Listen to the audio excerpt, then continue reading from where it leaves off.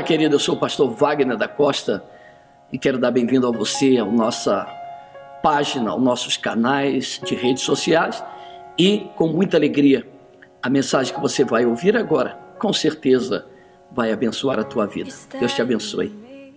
E ele disse: Vinhateiro é quem tomava conta. Ele disse ao vinhateiro: Sete. Eis que há três anos venho procurar fruto nesta figueira e não acho. Corta! Ponto final. Por que ela ocupa ainda a terra inutilmente? Isso é forte demais. E respondendo ele, disse-lhe: O dono mandou cortar. E ele respondeu e disse: Senhor, deixa este ano até que eu escave e a esterque, e se der fruto, ficará e se não der, pois mandarás cortar. É engraçado que a vinha, o dono da vinha, escuta isso, ele tinha uma vinha, vinha sinal de alegria, vinha sinal de prosperidade, vinha sinal de tanta coisa boa, e tinha plantado uma figueira. Então, olha só, já não era para estar ali, primeiro lugar já não tinha que estar tá ali. Mas a misericórdia do dono da fazenda plantou ela ali. Olhe aqui para mim. Nós não éramos para estarmos aqui. Mas a misericórdia de Deus nos plantou nesse lugar, nos plantou na sua casa, nos deu o direito de sermos chamados de filho, nos deu o direito de ser plantado.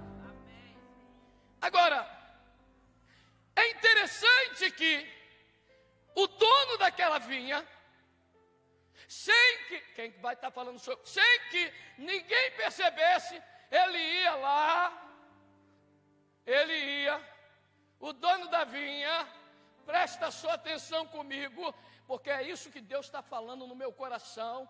Olha só, olha só, o dono da vinha ia passando com todo respeito no meio da sua vinha e observando. Você não vê, mas ele faz isso. Você não enxerga, mas ele faz isso. E ele disse: Um ano, não deu nada.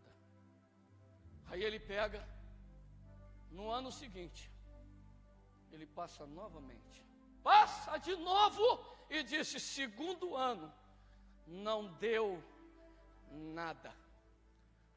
Terceiro ano, ele passa novamente olhando a sua vinha e também olhando a sua figueira. E de repente, vem cá. Olha só como é que isso é forte. Eu tenho percebido que três, olha só, ele já sabia quanto tempo ele passava por ali. Há três anos eu passo nela e só vejo árvore, galho e folha, mas não vejo fruto. Não é interessante que muitos têm tronco, muitos têm galho, muitos têm folha, mas não têm fruto. O galho é bom, o tronco é bom, as folhas também, só se vier acompanhado, mas só mostra, escuta, olha o que o Senhor está falando comigo, só mostra quem ela é quando saem os frutos. Que aí você você e eu seremos identificados não pelo caule, não pelo galho e não pelas folhas. A Bíblia diz que nós seremos conhecidos pelos. Então aquela figueira estava irreconhecível na vinha. E ele disse: Há três anos eu passo aqui e não vejo nada. Aí ele deu a sentença, presta atenção corta. Todo mundo investe em algo e tem o quê? A expectativa de ver o resultado do seu investimento. Sim ou não? Ninguém investe em alguma coisa para não ter nada. Carteira, caderneta de poupança, você quer ver alguma coisa. Você abre alguma firma, você quer ver lucro. Você planta alguma coisa, você quer ver o fruto. É verdade ou não é? Todo mundo que faz o investimento fica na expectativa. E era exatamente a expectativa do Senhor daquela vinha. Em relação à figueira que estava plantada no seu campo. A figueira, ei, olha aqui para mim, Deus não vai exigir em nenhuma coisa que está plantado lá fora, mas Ele vai exigir do que está plantado aqui dentro. Esse Senhor investiu, plantou a figueira, colocou um vinhateiro. E ele colocou o vinhateiro para quê? Para que haja limpeza. Para quê? Para que cuide. Para quê? Para que seja bem cuidada. Para quê? Para que tivesse assistência. Para quê? Para que, olha lá, ele desse remédio. Para quê? Para que molhasse, para que desse fruto. O inesperado, eu vou repetir, o inesperado aconteceu. Pergunta, o que é, pastor? Não deu fruto. Oh, inesperado. Porque todo mundo que planta alguma coisa fica na expectativa de colher alguma coisa. Sabe por quê? A maior vergonha da árvore é quando ela é árvore e não frutifica. A maior vergonha é quando aquilo que era para frutificar. Por isso que a Bíblia diz: o inesperado. Uau, uau, que foi? Irmão, posso ir mais fundo um pouquinho? Posso ir mais fundo? Uau, o líder não deu fruto. Ah, uau, o obreiro não deu fruto. Uau, o membro não deu fruto. Uau, uau, não, não deu fruto. Eu não quero que você vá embora toda alegre porque tem galho, toda alegre porque eu preguei uma mensagem que o pastor falou que eu tenho um tronco bom, um galho. Hã? Exatamente, vai ser cortado. Pastor, o que, que o senhor está falando? Porque a palavra diz que muitos são chamados e poucos os escolhidos, porque aquele que não frutifica, ei, olha aqui para mim, essa igreja não vai te enganar, esse ministério não vai te enganar, ou você frutifica, ou o Senhor vai te cortar. Alguém está entendendo? É forte, mas é verdade, é duro, mas é realidade, dói, mas pode te curar. Eu vim te falar. Quer, vencer? Tem atitude. Qual pastor? frutifique. Aonde Deus te plantou. Deus te plantou aqui? Então frutifica aqui. Aonde Deus te plantou? A minha pergunta é: aonde Deus te plantou? É por isso que recebemos hoje famílias e dizemos: olha, frutifica aqui, dá fruto aqui, seja bênção aqui. Se o Senhor te trouxe aqui, frutifique aqui. Plantado lá, frutificar aqui frutifica aonde você foi plantado. Você não paga a conta onde você não comeu. Eu nunca vi você comer no McDonald's e pagar no Burger King. Aham, uhum, pegou ou largou? Entendeu? Me canta labagai. Se Deus te trouxe aqui, frutifica aqui. Olha, olha só, a decisão de cortar nos leva a entender que se ele não tomaria essa decisão, se ele não tivesse razão para isso. Três motivos. Primeiro, eu tenho empenhado tempo, eu tenho empenhado investimento e não vejo resultado. Já são três anos que eu circulo ela, já são três anos que eu visito ela, e esta vinha, e nela não dá fruto nessa figueira, sabe?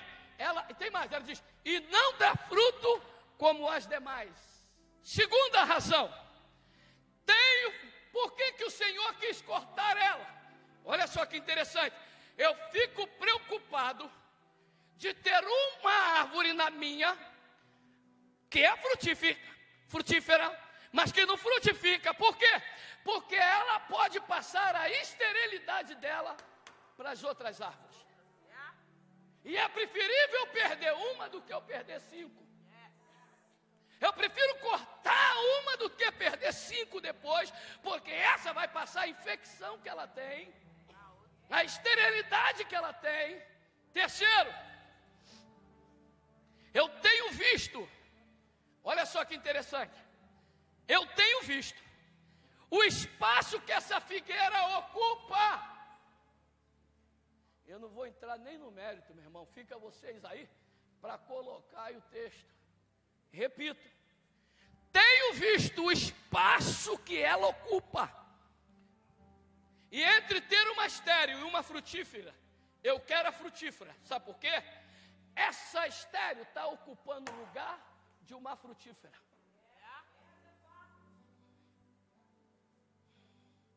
É forte demais, meu irmão, mas é a pura realidade. Volto a te dizer: quem contou isso não fui eu, quem contou isso foi Jesus. Deus manda a segunda. E se não mais não está na segunda, Deus te manda a terceira. Mas o que Deus está dizendo isso: eu te quero vivo, eu te quero vivo, eu não te quero morno, eu não te quero frio, eu te quero vivo na minha casa, eu te quero frutificando na minha casa. E aí, querido, está gostando da mensagem? Com certeza eu sei que o Senhor está falando com você. Eu quero convidar você para ser um dos nossos seguidores na nossa página. Nós estamos nas principais redes sociais. Nós estamos no Facebook, nós estamos no Instagram e também estamos no YouTube. E vai, curta a nossa página, sejam dos nossos seguidores e tenho certeza que estaremos é, compartilhando mensagem que será de continuação de bênção para a sua vida. Continue assistindo essa mensagem. Deus te abençoe quero te acordar. Eu quero te acordar para que você não seja pego ocupando o espaço. Pastor, o senhor não tem medo que algumas pessoas saiam? Não. Eu tenho medo que algumas pessoas prejudiquem as sadias. Eu, esse é meu temor. É porque sempre uma que está tá, tá, tá infeccionada quer infeccionar alguém. Por essas três razões. Esse senhor da vinha olha para o vinhateiro e diz: Basta! Basta! Dê um jeito agora! Corta porque eu estou no prejuízo. Esta é a avaliação de um autêntico agricultor, empresário, qualquer um que tem uma vinha. Suas razões são lógicas. Três anos era o tempo que dava para se entender o que tinha para fazer já era para ter feito. Isso é forte demais. Três anos. O que tinha que fazer, já era para ter feito. Agora, presta atenção nisso. De repente, incrível, o vinhateiro entra na frente e diz assim, ó, e faz um dos maiores pedidos ousados ele entra na frente, o vinhateiro, o vinhador, numa ação perigosa, numa ação perigosa, porque quem tinha mandado cortar foi o dono. Ele entra numa ação e, e, ele entra como se fosse, não é, mas parece ser uma contradição de ordem. Mas ele, ele, ele diz o seguinte: ele mostra, ele acredita,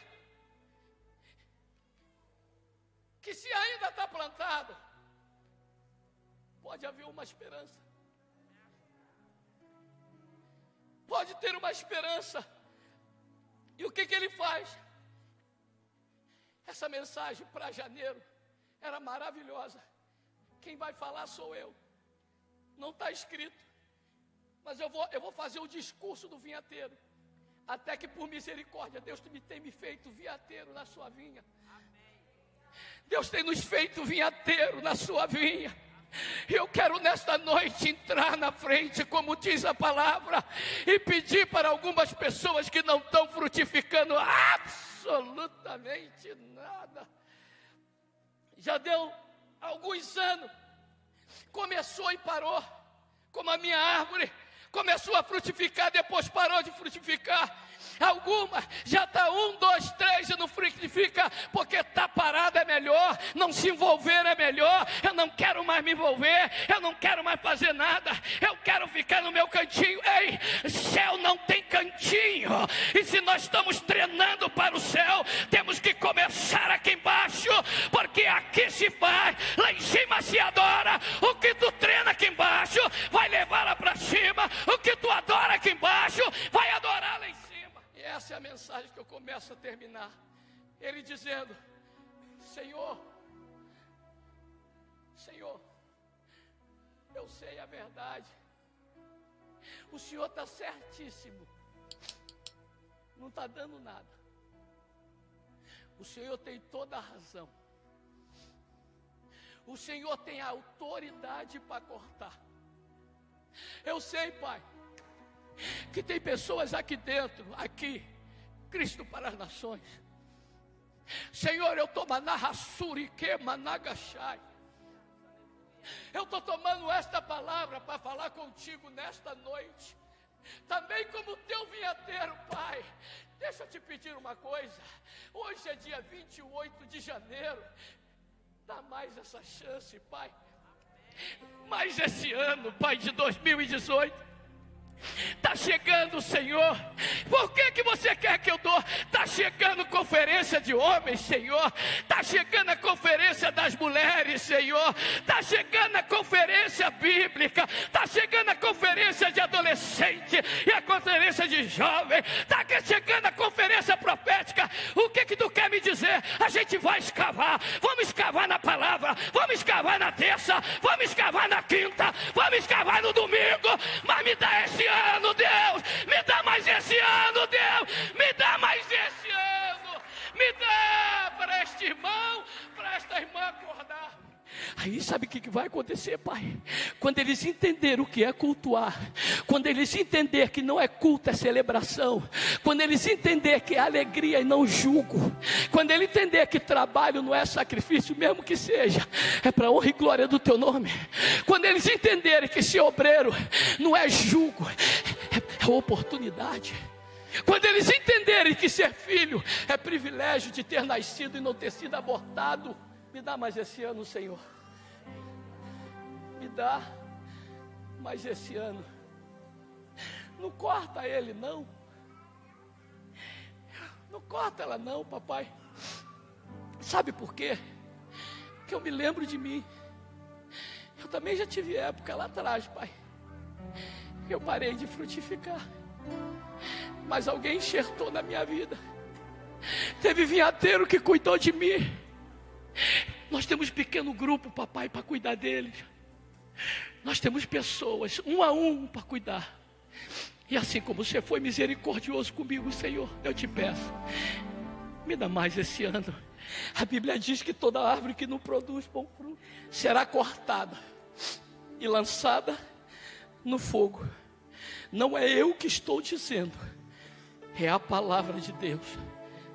Como é que você está? Senhor. Como é que você está? Como é que você se sente? De repente, você queria produzir e não está produzindo o que você queria. De repente, tu queria frutificar mais do que você está frutificando. Mas você não pode ficar de fora. Você que está fora dos caminhos do Senhor, o Senhor está dizendo: volta. Você está tendo uma oportunidade de ser trabalhado. Ei, não brinque com a tua oportunidade. Vou repetir: não brinque com a tua oportunidade. Frutifique. Se você se sente que poderia ser melhor, irmão, estamos nos primeiros dias do ano 28 dias do primeiro mês de 2018. Como é que está você? Eu não quero que você seja constrangido. E nem se constrange. Mas se você acha que poderia fazer melhor, vem aqui à frente. Eu quero orar por você. Seja sincero. Seja sincera. Seja sincero. Seja sincera.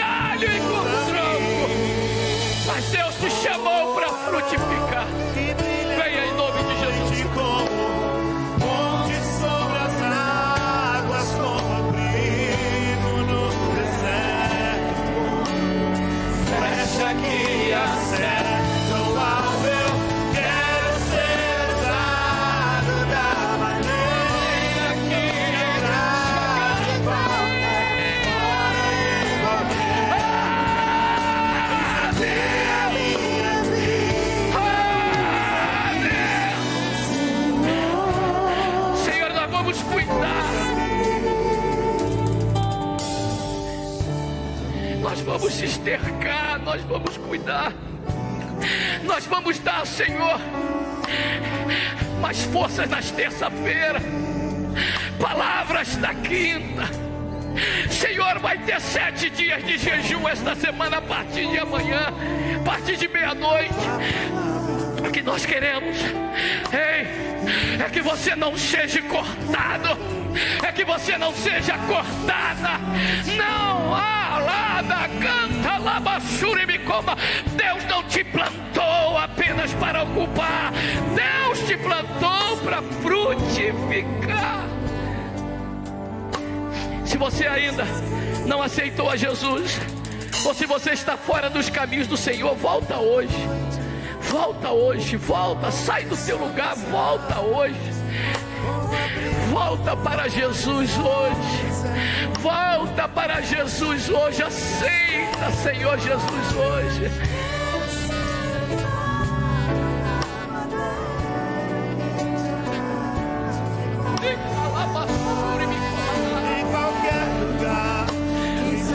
O Senhor está falando ao meu coração que o relógio já está quase batendo a meia-noite. Ele queria decalai. Até mesmo cientista, esta semana passada, os cientistas, não estou falando de pastores, eu estou falando dos cientistas.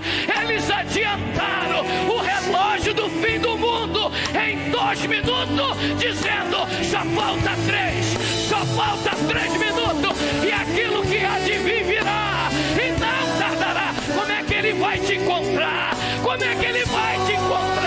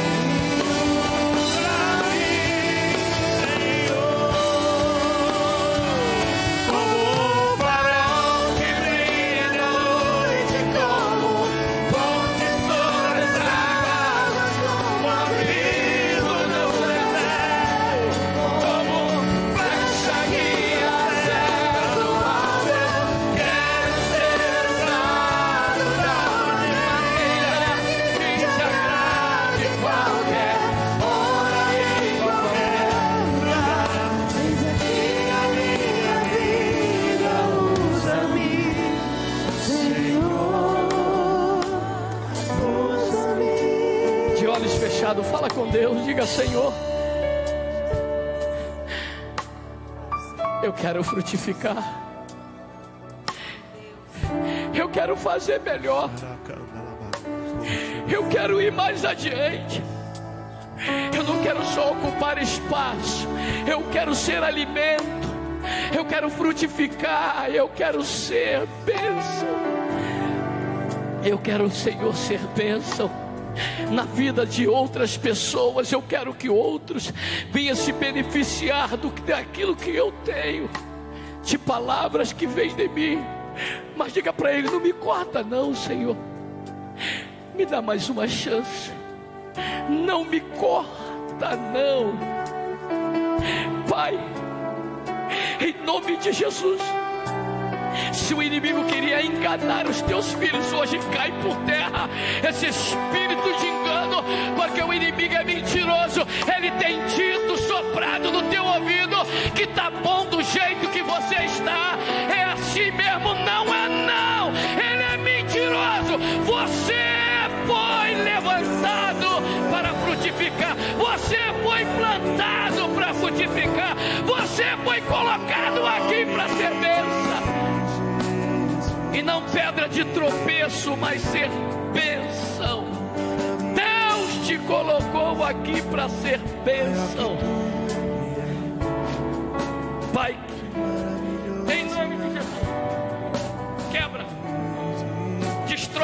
Todo impedimento, tudo aquilo, Senhor, que quer prejudicar teus filhos e tuas filhas. Senhor, que eles frutifiquem a cem por um, que eles frutifiquem a 100, uns 30, outros 60, outros 90, mas Senhor, do 100 por um, mas que eles frutifiquem. Em nome de Jesus. Em nome de Jesus. Eu quero que você responda comigo os que estão aqui na frente. Diga eu reconheço que eu fui plantado, que eu sou árvore frutífica. Diga eu sou árvore para frutificar, para que outros se beneficiem daquilo que eu frutifico. Diga o Senhor me colocou como bênção, o Senhor me colocou como eu tomo posse. Diga comigo, esse ano, mais uma vez, esse ano de 2018, eu irei frutificar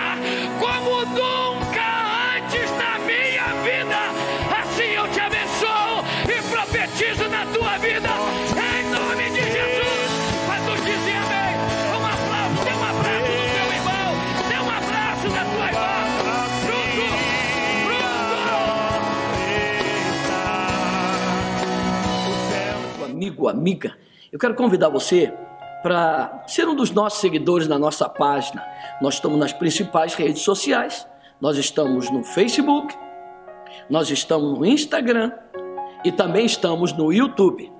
E vai, curta a nossa página, sejam dos nossos seguidores e tenho certeza que estaremos é, compartilhando mensagem que será de continuação de bênção para a sua vida. Deus te abençoe.